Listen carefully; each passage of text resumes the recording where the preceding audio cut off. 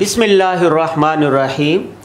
دنیا بھر میں جہاں جہاں یہ پروگرام دیکھا اور سنا جا رہا ہے، ان سب کی خدمت میں السلام علیکم ورحمۃ اللہ وبرکاتہ۔ آپ کے مسائل کا حل دارالفتہ جامعۃ الرشید کراچی سے ساڑھے سات بجے لائیو نشر ہوتا ہے۔ اس پروگرام میں دنیا بھر سے موصول ہونے والے آپ کے سوالات اور مسائل کا شرعی جواب پیش کیا جاتا ہے۔ جوابات دینے کے لیے یہاں پر سینئر اور جید مفتیان کرام کا ایک پورا پینل موجود ہوتا ہے۔ آج اسٹوڈیو میں ہمارے ساتھ موجود ہیں حضرت مولانا مفتی حسین صاحب۔ آپ جامعۃ الرشید کے استاد الحدیث اور سینئر ترین مفتی ہیں۔ ان کے ساتھ تشریف رکھتے ہیں مولانا مفتی اویس صاحب۔ آپ جامعۃ الرشید کے استاد اور مفتی ہیں۔ اب آتے ہیں آپ کے سوالات کی طرف۔ پہلا سوال، ڈیرہ اسماعیل خان سے ہادیہ گل صاحبہ نے کیا ہے۔ یہ سوال ہے مفتی حسین خلیل خیل صاحب سے۔ وہ پوچھتی ہیں، کیا فرض غسل کرنے کے بعد ایمان مفصل اور دیگر اذکار کرنا لازمی ہے؟ ہماری عورتیں ان کو لازمی قرار دیتی ہیں۔ اگر ان کو نہ پڑھ سکیں تو غسل درست ہوگا یا نہیں؟ بسم اللہ الرحمن الرحیم۔ تو یہ جو بات کہی گئی ہے، یہ بالکل بے بنیاد بات ہے۔ مطلب غلط بات ہے، اس کے کوئی اصول نہیں ہے، ایسا کچھ بھی ضروری نہیں ہے اور غسل صحیح ہو جاتا ہے۔ اس کا مطلب تو یہ ہوا کہ غسل سے آدمی کافر ہو جاتا ہے اور بعد میں مسلمان ہونا پڑتا ہے۔ تو یہ بالکل غلط بات ہے۔ بہت شکریہ۔ سندھ کے شہر پھل سے جاوید الرحمن صاحب پوچھتے ہیں، کیا یہ بات درست ہے کہ امام مسواک ہتھیار کے ساتھ نماز پڑھنے کا ثواب ستر گنا زیادہ ہے؟ جی اس میں مسواک کے بارے میں کچھ روایات ہے، جس کے بارے میں، جس میں یہ بات فرمائی گئی ہے کہ وہ نماز جو مسواک کے ساتھ ہو، وہ بغیر مسواک والے سے ستر گنا زیادہ فضیلت اور ثواب والی ہے۔ اور یہ حدیث ضعیف اگرچہ ہے، لیکن اس درجہ ضعیف نہیں ہے کہ اس کو بالکل ہی مسترد کیا جائے۔ اور جو فضائل اعمال ہے، اس میں بھی اس کا بیان نہ ہو۔ تو مطلب یہ صحیح ہے مسواک کے بارے میں کہنا صحیح ہے۔ کہ اس سے نماز کا ثواب ستر گنا بڑھ جاتا ہے۔ باقی جو اسلحہ کے حوالے سے بات ہے تو وہ کوئی بات نہیں ہے، بے بنیاد بات ہے، کوئی ثبوت اس کا نہیں ہے۔ اور باقی جہاں تک امامہ والی بات ہے، تو اس میں بھی اس طرح کی فضیلت تو نہیں ہے۔ البتہ اتنی بات بہرحال ہے کہ امامہ جو ہے، یہ ایک افضل لباس کا حصہ ہے اور یہ ایک مستحب چیز ہے۔ اب ظاہر ہے، جب مستحب اور پراپر لباس میں آپ نماز پڑھیں گے تو اس کا ثواب اس نماز سے یقیناً زیادہ ہوگا جس میں اس طرح کا لباس نہ ہو۔ تو اس لحاظ سے تو امامہ کی فضیلت اور پھر نماز کی فضیلت ہے لیکن الگ سے اس حوالے سے کوئی روایات ہو وہ کوئی مستند روایت اس حوالے سے نہیں ہے۔ جی ٹھیک۔ نثار راجپوت صاحب پوچھتے ہیں جو مسواک استعمال کے قابل نہ رہے اس کا کیا کریں؟ بس کسی بھی جگہ اس کو پھینک سکتے پاک جگہ میں۔ جی ٹھیک۔ کراچی سے معاذ کا سوال ہے۔ ایک مولانا صاحب سے سنا ہے کہ نماز میں ناف کے نیچے ہاتھ باندھنا سنت کے خلاف ہے اور کسی صحیح حدیث سے ثابت نہیں ہے۔ اس بارے میں وضاحت فرما دیں۔ بس یہ بات غلط ہے کہ کسی حدیث سے ثابت نہیں ہے۔ مصنف ابن ابی شیبہ کی روایت ہے حضرت وائر ابن حجر سے۔ جس میں یہ بات ہے کہ رسول اللہ صلی اللہ علیہ وسلم نے ہمیں یہ فرمایا ہے کہ ناف کے نیچے ہاتھ باندھے۔ اور جو دایا ہاتھ ہے وہ بایاں ہاتھ کے اوپر کر کے اس طرح باندھے جائیں۔ اور بھی روایات ہے فصل رب کا ون ہر کی تفسیر میں حضرت علی اس طرح سے منقول ہے، بہت سارے تفاصیر میں اس کی سند بھی صحیح ہے۔ تو یہ بات انہوں نے بالکل غلط کی ہے۔ البتہ یہ الگ بات ہے کہ اس کے علاوہ بھی روایات ہے اگر کوئی اس کے مطابق عمل کرے تو وہ بھی غلط عمل نہیں ہے، وہ بھی صحیح ہے۔ لیکن اس کو غلط کہنا یہ بہرحال صحیح نہیں ہے۔ جی ٹھیک۔ کراچی سے بنت آدم صاحبہ پوچھتی ہیں، نماز میں سجدے سے اٹھتے وقت زمین سے ٹیک لگا کر اٹھنا کیسا ہے؟ کیا اس طرح نماز صحیح ہو جائے گی؟ بس اصول یہ ہے کہ سجدے میں آدمی جب جا رہا ہوں تو وہ اعضاء مقدم رکھ کے پہلے رکھ کے جو آسمان کے زیادہ قریب ہیں۔ اور جب آدمی اٹھ رہا ہو تو اس کو پہلے اٹھائے جو زمین کے زیادہ قریب ہیں۔ تو اس اصول کے تحت اٹھنے کی کیفیت یہ بنتی ہے کہ پہلے چہرہ اٹھایا جائے جو سجدے سے ہے، پھر اس کے بعد ہاتھ اٹھایا جائے، پھر اس کے بعد گھٹنے۔ تو اس میں جب ہاتھ گھٹنوں سے پہلے ہی اٹھایا جانا ہے تو اس میں یہ صورت تو نہیں ہوگی کہ ہاتھوں پر تکیہ ہو اور گھٹنے پہلے اٹھایا جائے۔ لہٰذا اس طرح کرنا یہ مستحب طریقے کے اور مصنون طریقے کے خلاف ہے۔ تو اگر کسی کو عذر نہ ہو تو اس طرح نہیں کرنا چاہیے، بلکہ پہلے ہاتھ اٹھانا چاہیے، پھر اس کے بعد گھٹنے۔ اور اگر کسی کو عذر ہے، وہ بغیر سہارے کے کڑا نہیں ہو سکتا، تو وہ اگر ٹیک لگا کر، ہاتھوں کو لگا کر گھٹنے اٹھائے اور اس طریقے سے سجدہ سے اٹھے، تو وہ بھی ناجائز نہیں، یہ نماز اس سے بھی درست ہوگی۔ لیکن پراپر طریقہ بہرحال وہ نہیں ہے۔ جی بہت شکریہ۔ مفتی اویس صاحب سے سوال ہے۔ اعظم گڑھ اعظم گڑھ سے محمد عرفان صاحب پوچھتے ہیں، اگر غسل کرتے ہوئے غسل کے تینوں فرض پورے کیے، لیکن سر کا مسا نہیں کیا، تو کیا نماز پڑھ سکتے ہیں؟ بسم اللہ الرحمن الرحیم۔ غسل کے بنیادی طور پر تین ارکان ہیں۔ کولی کرنا ہے، ناک میں پانی ڈالنا وہ سارے بدن کے اوپر پانی اس قدر ڈالنا یا اس انداز میں ڈالنا کہ جسم کا کوئی عضو یا کوئی حصہ وہ خشک نہ رہنے پائے۔ تو اگر غسل کے اندر ان تین بنیادی ارکان پر عمل کر لیا جاتا ہے، تو وضو کے جو چار فرائض ہیں، وہ بھی ادا ہو جاتے ہیں۔ تو اگر غسل کسی نے کیا ہے، وہ تین ارکان پر عمل کیا ہے، تو اس کے بعد مستقل طور پر وضو کرنے کی ضرورت نہیں ہے اور مسئلہ کرنے کی ضرورت نہیں ہے۔ اس کے بعد اگر وہ نماز پڑھنا چاہتا ہے، تو نماز پڑھ سکتا ہے۔ جی ٹھیک۔ انڈیا سے عرفان احمد پوچھتے ہیں، کیا تحیت الوضو تولیے سے اعضاء صاف کرنے کے بعد پڑھ سکتے ہیں؟ جی اگر اعضاء خشک ہو جائیں یا خشک کر لی جائیں اس کے بعد تحیت الوضو پڑھنا چاہے پڑھ سکتا ہے۔ لیکن بہتر اور افضل طریقہ یہ ہے کہ اعضاء کے خشک ہونے یا اعضاء کے خشک کرنے سے پہلے تحیت الوضو کی جو دو رکعت ہیں۔ اس سے پہلے پہلے اس کو پڑھ لینا چاہیے۔ یہ افضل و بہتر طریقہ ہے۔ جی ٹھیک۔ کراچی سے بنت آدم صاحبہ کا دوسرا سوال ہے نماز میں ہاتھوں سے زمین کو ٹیک لگا کر کھڑا ہونا کیسا ہے؟ یہ تو استعین جواب دے دیا اس کا۔ جی ٹھیک۔ سعودی عرب سے نور محمد صاحب پوچھتے ہیں، کیا نماز کے رکوع اور سجدے میں اسی طرح آخری قاعدے میں اپنی حاجت کے لیے عربی میں دعائیں مانگ سکتے ہیں؟ جی اگر کوئی نفل نماز پڑھ رہا ہے اور نفل نماز کے جو تسبیحات ہیں ان کے ادا کرنے کے بعد وہ دعائیں جو قرآن میں ہیں یا احادیث میں ہیں، ان کو پڑھنا چاہتا ہے تو پڑھ سکتا ہے۔ اور ایسے اگر کوئی انفرادی طور پر فر نماز پڑھ رہا ہو تو تسبیحات کے بعد ان دعاؤں کے پڑھنے کی اجازت ہے۔ لیکن اگر کوئی امام بن کر تسبیحات کے پڑھنے کے بعد ان دعاؤں کو پڑھنا چاہے، تو عام حالات میں ایسی دعاؤں کو پڑھنا یہ مکرو ہے۔ کیونکہ صورت میں نماز لمبی ہو جائے گی، تو بہت سارے ایسے لوگ جو جلدی میں ہوں گے یا حجت میں ہے نماز کو طول ہوگا تو تکلیف کا ذریعہ بنے گی۔ تو امام کے لیے جماعت کی صورت میں تسبیحات کے بعد ان دعاؤں کو پڑھنا مکرو ہے۔ لیکن اگر امام ایسا ہو، وہ یہ سمجھتا ہے کہ میں ان دعاؤں کو پڑھوں گا یا نماز کو لمبی کروں گا تو جو میرے پیچھے اقتدام میں لوگ نماز پڑھ رہے ہیں ان کے لیے تکلیف کا ذریعہ نہیں بنے گی تو اس صورت میں پھر یہ کراہت نہیں رہے گی۔ جی ٹھیک۔ مان سیرا سے سہیل احمد کا سوال ہے معذور شخص امامت کروا سکتا ہے یا نہیں؟ جی اگر معذور سے مراد ان کی معذور شرعی ہے یعنی کسی عذر کی وجہ سے اس کا وضو برقرار نہیں رہتا تو ایسا شخص تو امام نہیں بن سکتا۔ یعنی ایسے لوگ کی امامت نہیں کروا سکتا کہ جو معذور نہیں ہے اور اگر معذور سے مراد ان کا معذور عرفی ہے تو پھر وہ دو قسم کا ہوتا ہے کہ ایک تو معذور وہ ہوتا ہے کہ جو رکوع سدے پر قادری نہیں ہے، اشارے کے ساتھ نماز پڑھ رہا ہے، تو یہ بھی امام نہیں بن سکتا۔ اور دوسرا معذور وہ ہوتا ہے کہ وہ رکوع سجدے پر قادر ہے، لیکن ویسے کوئی ہاتھ میں یا پاؤں میں کوئی مسئلہ ہے جس کو معذور کہا جاتا ہے، لیکن وہ رکوع سجدہ باقاعدہ نارمل طریقے سے ادا کر رہا ہے۔ تو اگر ایسے شخص کو امام بنایا جائے، اس کی اقتداء میں نماز پڑھی جائے، تو صحیح ہے، اس میں کسی قسم کی رات کے بعد نہیں۔ بہت شکریہ مفتی صاحب۔ ناظرین و سامعین قرآن پاک ایک آیت ہے فصل اہل ذکر ان کن تم اللہ تعالمون اور کسی چیز کے بارے میں تم نہیں جانتے تو اہل علم سے پوچھ لیں۔ اسی طرح ایک حدیث شریف کا مفہوم ہے کہ کسی مسئلے میں الجھے ہوئے شخص کی شفا اور حل اسی میں ہے کہ وہ پوچھ لیا جائے۔ اسی بات کو مد نظر رکھتے ہوئے جب آپ پروگرام سنتے ہیں، اس دوران یا کسی بھی وقت آپ کے ذہن میں کوئی سوال آئے تو آپ ضرور پوچھیے گا۔ پوچھنے کا، سوال پوچھنے کا طریقہ کار یہ ہے کہ پیج کے کمنٹس بار میں جا کر آپ اپنا وہ سوال لکھیں جو پوچھنا چاہتے ہیں، آپ کے اس سوال کو کل کے پروگرام میں شامل کیا جائے گا۔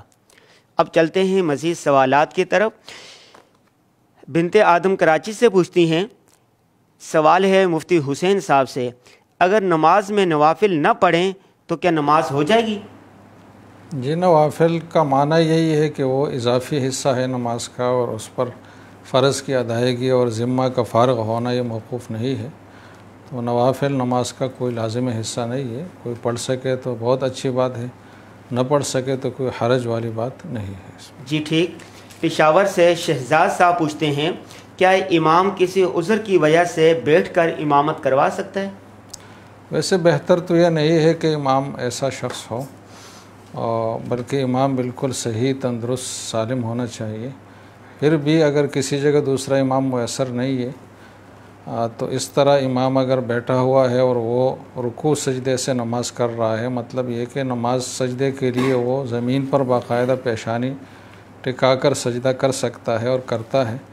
تو ایسے بیٹھے ہوئے آدمی کے پیچھے جو بیٹھ کر نماز پڑھ رہا ہے، اس کے پیچھے نماز ہو جاتی ہے اور اس میں کوئی حرج والی بات اس طریقے سے نہیں ہے۔ البتہ اگر وہ زمین پر سجدہ کرنے پر قادر نہیں ہے اور رکوع اور سجدے کے لیے اشارہ ہی کر سکتا ہے، تو اس کی اپنی نماز تو ہو جاتی ہے، لیکن اس کے اقتداء میں دوسروں کی نماز نہیں ہوتی، تو ایسا شخص پھر امام نہیں بن سکتا۔ جی ٹھیک۔ سعودی عرب سے قسمت اللہ صاحب پوچھتے ہیں، ایک دوست فرما رہے تھے کہ پہلے جب جماعت میں مسبوق شامل ہوتا تھا، تو کسی سے پوچھ کر معلوم کرتا تھا کہ کتنی رکعتیں ہوئی ہیں۔ پہلے ان کو پڑھ کر بعد میں امام کی اقتدا شروع کرتا تھا۔ کیا یہ درست ہے؟ نہیں ایسی کوئی بات نہیں ہے۔ غلط بات ہے۔ جی ٹھیک۔ کراچی سے علی صاحب پوچھتے ہیں عورتوں کے لیے تراویح کا کیا حکم ہے؟ نیز عورتوں کی تراویح کا پورا طریقہ بھی بتا دیں۔ تراویح عورتوں کے لیے بھی سنت ہے جیسے کہ مردوں کے لیے ہے۔ لیکن عورتیں انفراداً آ، پڑھے گی یہ تراویح جماعت نہیں کرے گی۔ عورتوں کے لیے مطلق جماعت خواہ فرض نماز کی ہے، خواہ تراویح کی ہے، وہ مکروح ہے اور اسی کے مطابق ہی عمل کیا جائے گا۔ البتہ اس میں کچھ ایک دو صورتیں استثنائی بتائی جاتی ہیں۔ تو اگر کسی کو وہ صورتحال درپیش ہو تو کسی مفتی سے پوچھ لیں۔ عام طور پر حکم یہی ہے کہ خواتین جماعت سے تراویح کی نماز نہیں پڑھے گی جی ٹھیک۔ چار سدا سے ظاہر شاہ صاحب پوچھتے ہیں، نابالغ حافظ بچے کے پیچھے نماز تراویح پڑھنا کیسا ہے؟ امام کے لیے بالغ ہونا ضروری ہے خواہ وہ تراویح کا امام ہو یا فرائض کا ہو تو نابالغ کے اقتداء میں تراویح پڑھنا جائز نہیں۔ ہے بہت شکریہ مفتی صاحب۔ اگلا سوال ہے مفتی اویس صاحب سے۔ سوال یہ ہے دہلی سے عاصم صاحب نے پوچھا ہے کیا تراویح کی چار رکعت کی نیت کر کے گھر والوں کو تراویح پڑھا سکتے ہیں یا دو دو کر کے پڑھانا ہی ضروری ہے؟ یہ تراویح میں بہتر اور سنت عمل یہ ہے کہ دو رکعت ایک سلام کے ساتھ پڑھی جائیں۔ لیکن اگر کوئی چار رکعت تراویح پڑھاتا ہے تو یہ بھی جائز ہے۔ لیکن یہ بہتر اور افضل طریقہ نہیں ہے، کیونکہ جو متوارث طریقہ ہے جماعت کے ساتھ نماز پڑھنے کا تراویح کا، تو وہ یہی ہے کہ دو رکعت ایک سلام کے ساتھ پڑھی جائے۔ لیکن اگر کوئی انفرادی طور پر تراویح ادا کر رہا ہے اور وہ چار رکعت ایک ساتھ پڑھنا چاہے تو پھر اس میں غیر افضل ہونے کا جو کہا گیا علماء نے وہ بھی نہیں رہے گا۔ جی ٹھیک۔ جرمنی سے عبداللہ محمود صاحب پوچھتے ہیں، میں روزانہ دفتر جانے کے لیے گھر سے ایک سو دس کلو میٹر کا فاصلہ طے کرتا ہوں۔ ہفتے میں چار دن دفتر جاتا ہوں۔ کیا ان چار دنوں میں ظہر اور عصر کی نماز قصر ادا کروں گا؟ یہ اگر جہاں پر یہ ملازمت کے لیے جاتے ہیں، اگر ایک بار بھی وہاں پر پندرہ دن یا اس سے زیادہ اقامت کی نیت سے یہ رہ چکے ہیں، تو اس صورت کے اندر تو جب بھی وہاں پر یہ رہیں گے یا ملازمت کے لیے جائیں گے تو مکمل نماز پڑھیں گے۔ لیکن اگر ایک بار بھی ان کا وہاں پر پندرہ دن یا اس سے زیادہ رہنے کا اتفاق نہیں ہوا اور انفرادی طور پر یہ نماز پڑھ رہے ہیں، تو اس صورت میں یہ قصر نماز پڑھیں گے۔ لیکن اگر جماعت کے ساتھ نماز پڑھی جا رہی ہے اور کسی یہ مقیم امام کی اقتداء میں نماز پڑھ رہے ہیں، تو اس صورت میں تو یہ مکمل نماز پڑھیں گے۔ جی ٹھیک۔ قصور سے محمد شفیق صاحب پوچھتے ہیں، کیا اس نیت سے سجدہ صحف کر سکتے ہیں کہ ہو سکتا ہے میرے ذمے کچھ واجب سجدے ہوں؟ یہ اگر غالب گمان ہے تو صورت میں تو اتنے سجدہ کرنا ضروری ہے۔ لیکن اگر غالب گمان نہ ہو صرف شک ہے تو شک کی وجہ سے کوئی چیز واجب نہیں ہوتی۔ اگر یہ کرنا چاہیں تو اس میں کوئی حرج کی بات بھی نہیں۔ جی ٹھیک۔ سہیب مرزا صاحب کا سوال ہے ذکر میں درود شریف کون سا پڑھنا چاہیے؟ درود ابراہیمی پڑھنا یہ زیادہ افضل و بہتر ہے۔ آپ صلی اللہ علیہ وسلم نے نماز کے لیے درود ابراہیمی کا انتخاب فرمایا ہے۔ تو اس لیے چاہے نماز ہو یا غیر نماز ہو تو بہتر یہ ہے کہ درود ابراہیمی پڑھا جائے۔ جی ٹھیک۔ امجد صاحب کا سوال ہے، تین کروڑ کا گھر رہائش کے لیے قسطوں پر خریدا، زکوٰۃ کیسے حساب ہوگا؟ جی جو رہائشی مکان ہوتا ہے یا گھر ہوتا ہے تو اس کے اوپر زکوٰۃ نہیں ہوتی۔ تو اس گھر کے اوپر یا اس گھر کی مالیت کے اوپر تو زکوٰۃ نہیں ہے۔ البتہ جہاں تک جو قسطوں کی بات ہے، تو اگر یہ اموال زکوٰۃ کا حساب کریں گے، تو وہ قسطیں جو زکوٰۃ کی تاریخ کے آنے سے پہلے پہلے ان کا ادا کرنا ان کے ذمے میں ٹھہر چکا ہے۔ تو ان قسطوں کو مائنس کر کے پھر یہ زکوٰۃ کا حساب کریں گے۔ اور وہ قسطیں جو زکوٰۃ کی تاریخ کے آنے کے بعد ان کو دینی ہے تو ان کو مائنس نہیں کریں گے۔ بہت شکریہ مفتی صاحب۔ ناظرین، آپ جانتے ہیں کہ ہمیں امریکہ، یورپ، جرمنی فرانس، سعودی عرب قطر، متحدہ عرب امارات ہر جگہ سے سوالات موصول ہو رہے ہیں۔ لیکن سوالات دو قسم کے ہمیں مل رہے ہیں۔ بعض لوگ انفرادی نوعیت کا سوال پوچھتے ہیں اور بعض اجتماعی نوعیت کا۔ یہاں پر اس پروگرام میں دونوں نوعیت کے سوالات کے جوابات دے دیے جاتے ہیں۔ لیکن جو اجتماعی نوعیت کا سوال ہوتا ہے، ہماری پروڈکشن ٹیم اسے شارٹ کلپ بنا کر J T R media house کے فیس بک پیج پر اور یوٹیوب چینل پر اس کو ڈال دیتے ہیں۔ وقتاً فوقتاً آپ چینل بھی دیکھتے رہا کریں اور پیج بھی وزٹ کرتے رہا کریں، اس سے آپ کی معلومات میں اچھا خاصا اضافہ ہوگا۔ مزید سوالات لیتے ہیں۔ جدہ سے معین الدین صاحب پوچھتے ہیں نماز میں بے دہانی اور بے توجہی کا علاج کیا ہے؟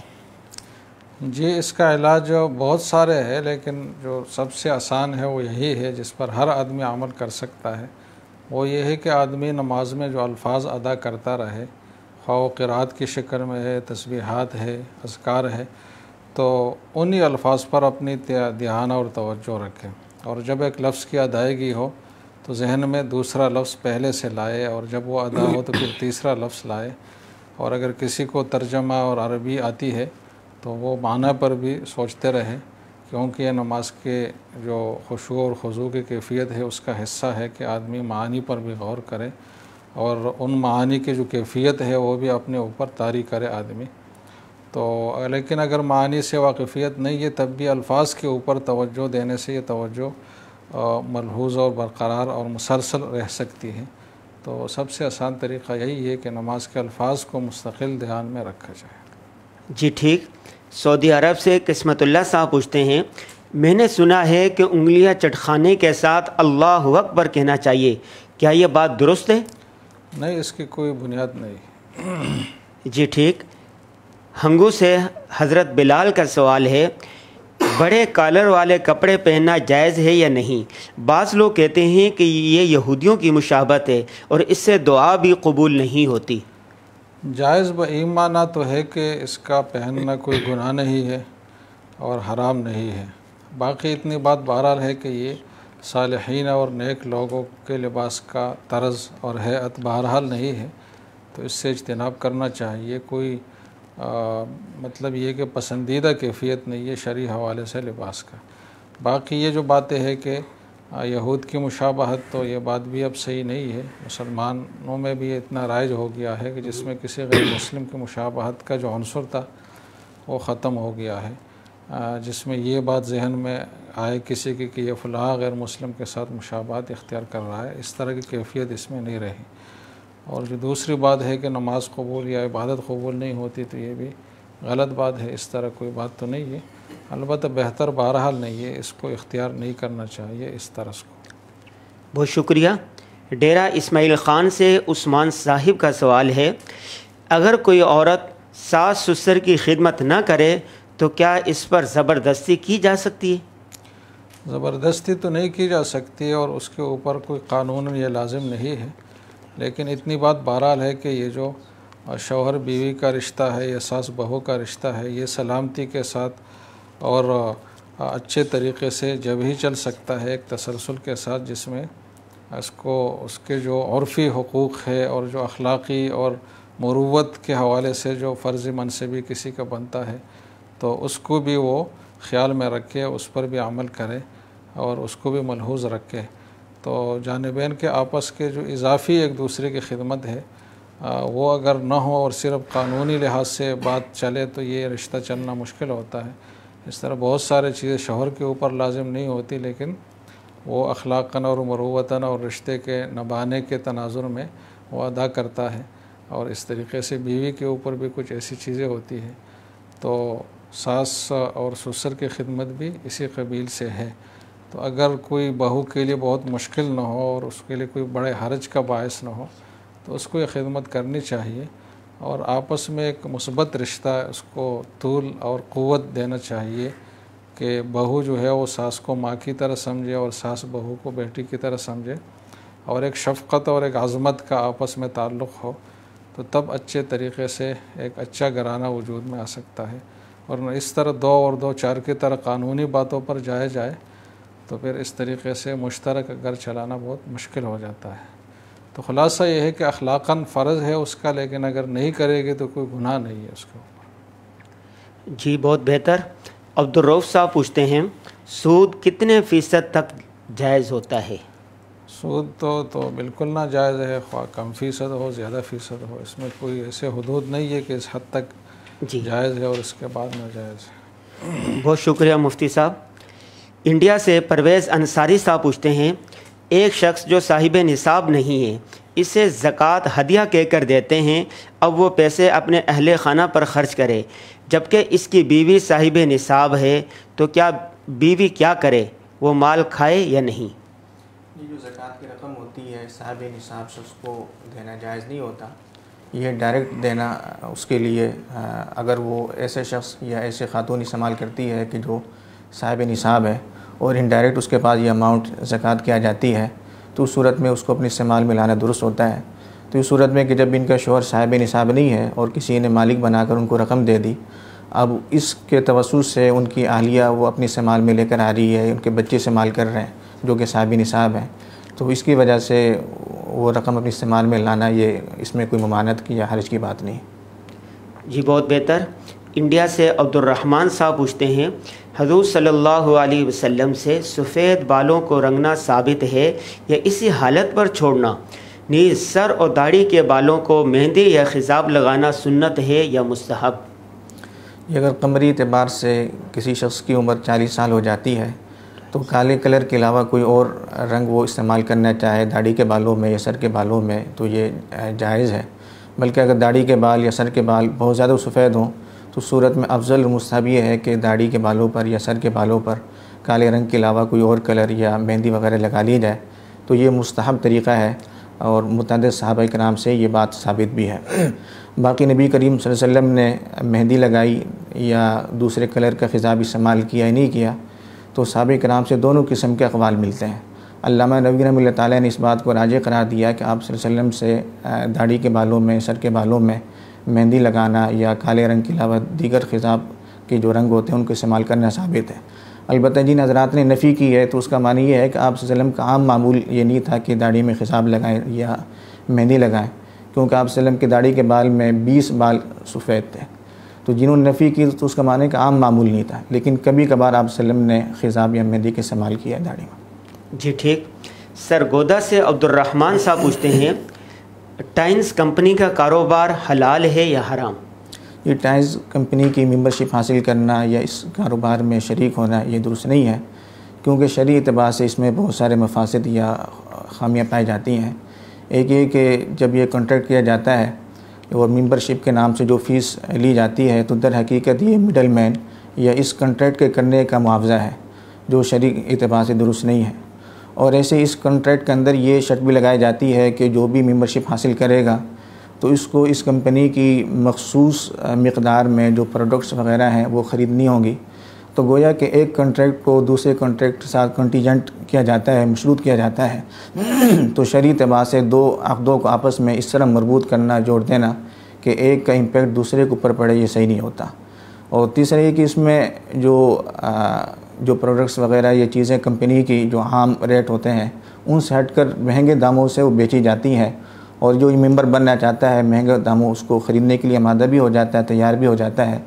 تو وہ جو اماؤنٹ فیس کے نام سے دی جاتی ہے، تو وہ اس کے اندر یہ شرط بھی ہوتی ہے کہ آپ اگر کسی اور کو ممبر بنائیں گے، تو اس اماؤنٹ کے اندر آپ کو اس کے ساتھ اور بھی پیسہ وغیرہ ملیں گے۔ تو گویا کہ اس میں ایک قمار کسی کیفیت پیدا ہو جاتی ہے کہ اگر مزید لوگوں کو ممبر بنانے پر یہ کامیاب ہو گیا۔ تو اس کے اجرت میں اضافہ ہو جائے گا۔ اور اگر یہ مزید لوگوں کو اس ممبر بنانے پر قادر نہیں ہوا، تو صورت میں جو اس نے فیس کے نام سے جو رقم دی تھی، وہ بھی ڈوب جاتی ہے۔ تو قمار بھی اس کے اندر آ جاتا ہے۔ تو اس طرح اس میں متعدد خرابیاں پائی جاتی ہیں۔ تو اس لیے ٹائنس نامی کمپنی میں انویسٹمنٹ کرنا یا ان کے کاروبار میں شریک ہونا یہ صحیح نہیں ہے۔ جی ٹھیک۔ ڈاکٹر مظفر صاحب پوچھتے ہیں، کیبل کا بزنس حلال ہے یا حرام؟ جی کیبل کا بزنس کرنا یا انٹرنیٹ کی سروس فراہم کر کے اس پر معاوضہ لینا یہ صحیح ہے۔ البتہ اس کو باقاعدہ پیشے کے طور پر اختیار کرنا یہ کوئی پسندیدہ طریقہ نہیں ہے۔ کیونکہ عام طور پر لوگ جب نیٹ لگاتے ہیں تو عام لوگ یہ ہوتا ہے کہ اس کو نگیٹو چیزوں کے اندر غلط مقاصد کے لیے استعمال کر رہے ہوتے ہیں۔ تو اس لیے بہتر یہ ہے کہ پیشے کے طور پر اس اس کا کاروبار نہ کیا جائے۔ اور خاص طور پر اگر کسی شخص کے متعلق یقین ہو یا ذن غالب ہو کہ اس کو یہ ناجائز کاموں کے لیے استعمال کرے گا، غلط کاموں کے لیے استعمال کرے گا، تو اس صورت میں اس کو یہ سروس فراہم کرنا ہی جائز نہیں رہتا۔ جی ٹھیک۔ محمد ممتاز مکہ مکرمہ سے پوچھتے ہیں، میرے والد صاحب کے نام ایک پلاٹ ہے جو بھائی نے خرید کر ان کے نام ٹرانسفر کیا تھا۔ اس پر بعد میں ہم نے مکان بنایا کنسٹرکشن کا خرچہ ہم تینوں بھائیوں نے کیا۔ اب اس پلاٹ کو والد صاحب کی وراثت کے طور پر تقسیم کرنا چاہتے ہیں۔ پلاٹ کی جو موجودہ قیمت ہے، اس پر تقسیم کیا جائے یا پراپرٹی ڈیلر سے ٹوٹل مکان اور پلاٹ کی قیمت لگوا کر تقسیم کیا جائے۔ دیکھیں، اگر یہ والد کو یہ جو پلاٹ ہے جو ٹرانسفر کیا گیا تھا، اگر ٹرانسفر کرنے کے بعد ان کو قبضہ بھی دے دیا گیا تھا، تو اس صورت میں یہ پلاٹ والد کی ملکیت میں چلا گیا اور ان کے ترقے میں شامل ہوگا۔ اور اسی طریقے سے پلاٹ کے بعد جب تعمیرات وغیرہ کی گئی ہیں، تو اگر ان لوگوں نے والد ہی کے لیے وہ تعمیرات کی ہیں، تو اس صورت میں تو ٹوٹل کی قیمت لگائیں گے پلاٹ کی بھی اور تعمیرات کی بھی۔ لیکن اگر انہوں نے جو تعمیرات وغیرہ کی اپنے لیے کی ہیں، تو اس صورت میں جو صرف پلاٹ ہے، وہ ترقے میں شامل ہوگا، جو تعمیرات وغیرہ کی گئی، جو اس کے اوپر اخراجات وغیرہ ہے تو وہ ترقے میں بھی شامل نہیں ہوں گے۔ جی ٹھیک۔ بہت شکریہ، حضرت مولانا مفتی حسین صاحب۔ مولانا اویس صاحب، آپ لوگوں نے اپنا قیمتی وقت ہمیں عنایت فرمایا۔ ناظرین و سامعین، آپ کے سوالات تو اور بھی ہیں، مزید سوالات بھی آ رہے ہیں، لیکن پروگرام کا جو ٹائم تھا وہ ختم ہو چکا ہے۔ اب باقی سوالات کو کل کے پروگرام میں شامل کریں گے۔ کل تک ہمیں اجازت دیجیے دیکھتے رہیے J T R media house. خدا حافظ۔ السلام علیکم ورحمۃ اللہ وبرکاتہ۔